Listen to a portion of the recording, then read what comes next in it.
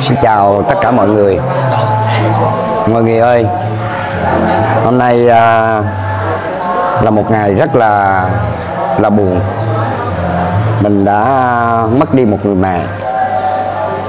Mà một người mẹ là cả một cuộc đời rất là yêu thương con cháu. Một người mẹ mà lúc nào cũng lo tảo tần.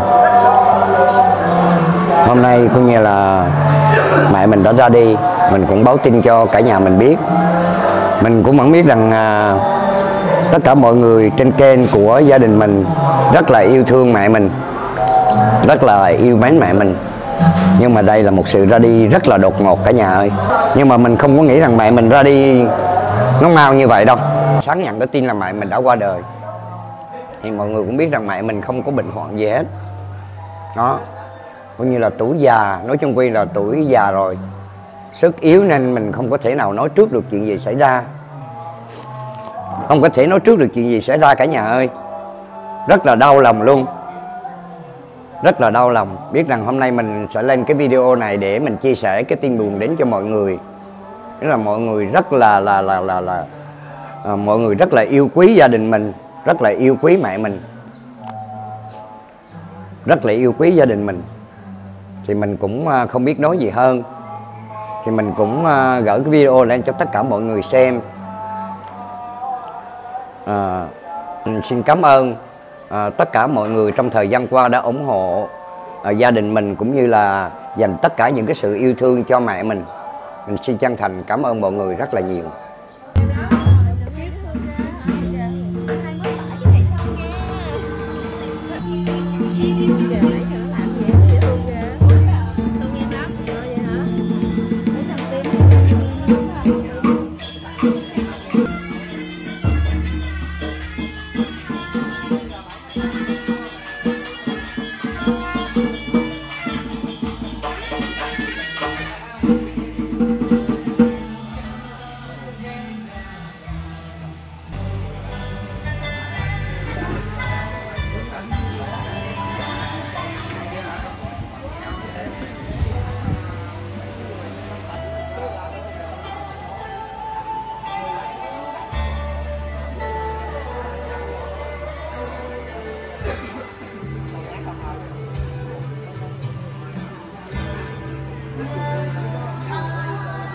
Rồi bây giờ là tới à, hẻm biểu vô nhà nội này nè. À.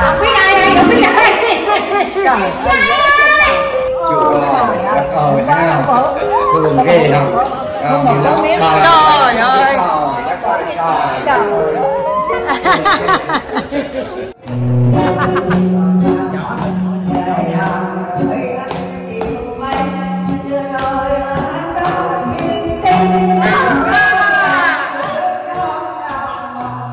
Ờ, cô chú ở trên video là thương nội lắm á. Biết không thương thấy mẹ trên video của ờ, thấy nội là vui vẻ nè. Hả?